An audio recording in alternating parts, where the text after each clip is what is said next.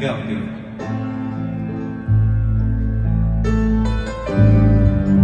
ਲੈ ਆ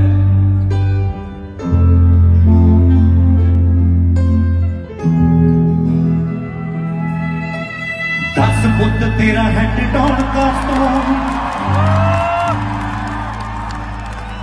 ਚੰਗਾ ਬੜਾ ਹੱਸਦਾ ਸੀ ਮੌਣ ਕਾਸਟੋਂ ਆ ਜਿਹੜੇ ਦਰਵਾਜ਼ੇ ਉੱਤੇ ਬੋਰਡ ਚੱਕੀ ਖੜੇ ਆ, ਮੈਂ ਚੰਗੀ ਬੜਾ ਜਾਣਦਾ ਆਂ। ਕੌਣ ਕਾਸਟੋਂ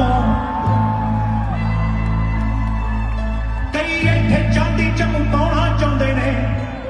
ਹੱਥ ਫੜ ਤੈਨੂੰ ਥੱਲੇ ਲਾਉਣਾ ਚਾਹੁੰਦੇ ਨੇ। ਕੁਝ ਇੱਥੇ ਆਏ ਨੇਗੇ ਭੁੱਖੇ ਫੇਮ ਦੇ। ਨਾਮ ਲੈ ਕੇ ਤੇਰਾ ਅੱਗੇ ਆਉਣਾ ਚਾਹੁੰਦੇ ਨੇ। ਮੁਸੀਬਤ ਤਾਂ ਮਰਦਾ ਤੇ ਪੈਂਦੀ ਰਹਿੰਦੀ ਏ।